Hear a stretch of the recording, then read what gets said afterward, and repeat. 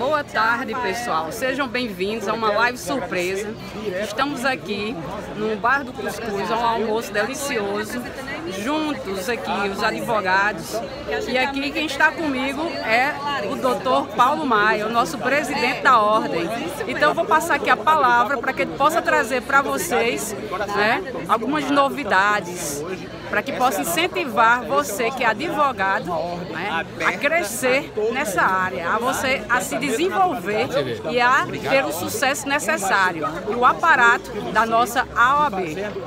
Doutor Erline, prazer muito grande estar aqui em Campina Grande hoje, no Bar do Cuscuz, nesse bar tão emblemático da cidade de Campina Grande, aqui em frente, em frente ao Açude Velho.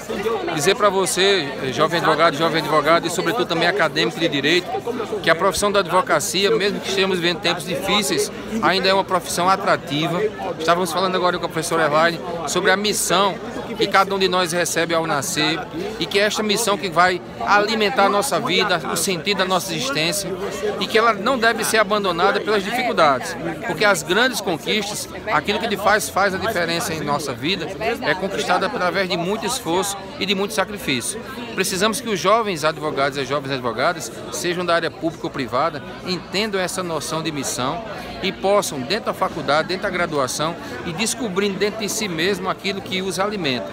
O concurso público é algo muito bonito, a forma de ingresso nas carreiras jurídicas, mas nem todos nascem para as carreiras jurídicas públicas. Muitos são atraídos e são chamados a exercer um ministério privado. Então, nesse sentido, seja para a advocacia pública ou privada, é importante, sobretudo, você fazer um bom curso de direito, estudando, participando, participando dos programas de extensão e pesquisa, para que você possa ir entendendo a dinâmica e a essência da área do curso de Direito e poder fazer a sua escolha, como defensor, como advogado, como membro do Ministério Público, como membro da magistratura, da advocacia pública, das procuradorias, delegado, ou seja, enfim, uma, uma de enorme de funções e de cargos jurídicos que engrandecem e que formam o corpo do sistema jurídico tão indispensável para a vida do Estado democrático de direito. Quero que você possa, é, a partir dessa breve reflexão na hora do almoço, numa terça-feira, pós-eleição, e temos agora o segundo turno da, da Presidência da República, e entender que o seu papel na vida da sociedade é muito importante. Então faça um bom curso de Direito, faça é, uma verdadeira reflexão ao longo do curso. Muitas vezes, quando a gente tem está na faixa dos 18, 19, 20 anos, nós ainda não, não entendemos essa, essa situação e passamos às vezes ao largo e deixamos para as escolhas mais adiante. Mas o que você precisa ser já está nos seus olhos, já está diante de você e você pode encontrar já de agora. Quero dizer que eu tenho uma admiração muito grande pela professora Elaine, uma mulher que eu admiro bastante, comprometida, dedicada, uma professora devotada e que muito contribui para a construção da sociedade paraibana, do mundo jurídico paraibano. Parabéns, professor Erline, pelo seu trabalho, pela sua missão. Um grande abraço a todos. Tá vendo, pessoal, com a palavra aqui o nosso presidente.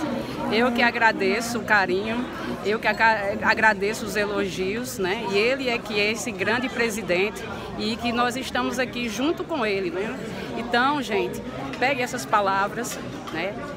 Que vocês possam continuar estudando, ter foco, né?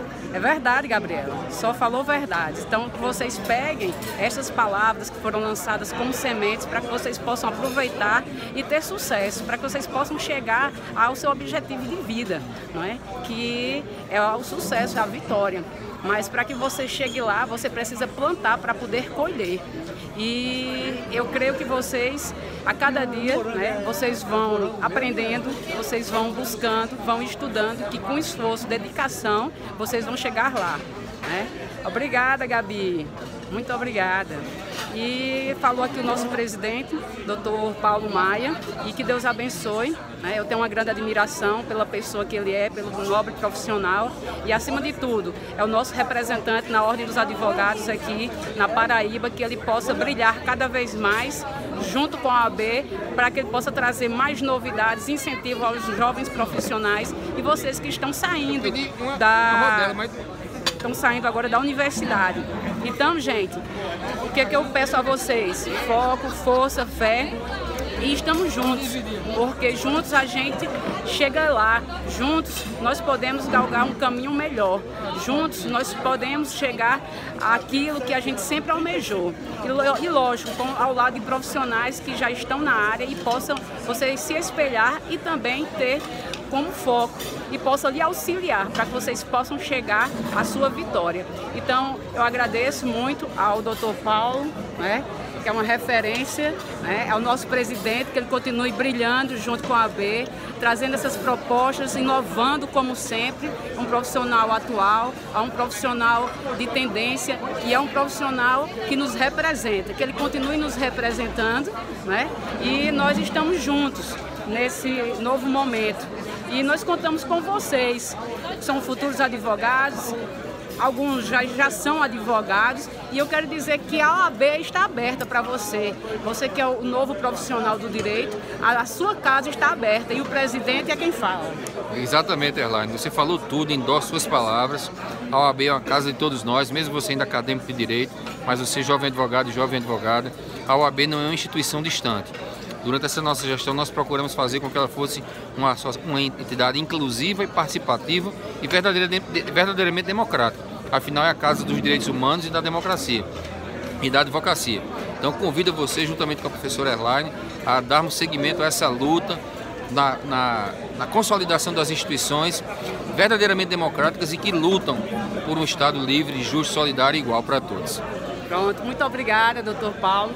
Gente, foi um prazer estar com vocês e estar com o doutor Paulo nesse momento tão maravilhoso né, que Deus proporcionou, porque Deus é um Deus que marca encontro, Deus é um Deus que não é um Deus de qualquer forma, mas é aquele que marca um encontro conosco, né? E Deus marcou este dia e que fique registrado para que a gente possa trazer novas propostas para vocês e um grande abraço, fique com Deus e depois a gente chega aqui com mais novidades, principalmente para você que está terminando o curso, para você jovem advogado e para você que já é advogado. Que a OAB seja sempre a sua casa. Então fique com Deus, Deus abençoe e até a próxima. Tchau. Um abraço, Felipe, Mário, Daniele, Manuela, Tânia, Gabi, Renan, Cássia Jane, Juliana, Edilzo, Edilza, Gabi, Rebeca, Keloí, Renan. Um forte abraço a todos vocês e fique com Deus. Tchau, tchau.